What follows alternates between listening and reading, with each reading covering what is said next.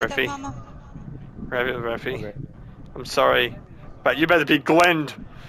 I'm gonna call you Glenn from now on. Ugh! Ow! What the? Ugh! Ugh! Huh? Ugh!